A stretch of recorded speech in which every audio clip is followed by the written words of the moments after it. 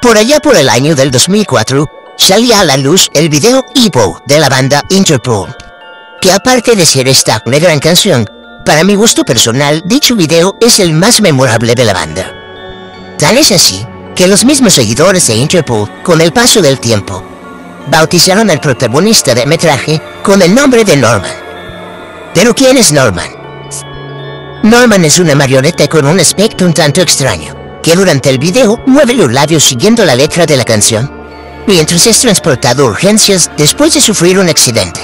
Luego del gran éxito del video, Norman estuvo perdido por muchos años, y los seguidores de la banda se cuestionaban por su paradero, hasta que aparecieron a subasta de eBay en lamentables condiciones. Allí de hoy ha sido restaurado y afortunadamente vuelve a lucir tal y como fue diseñado.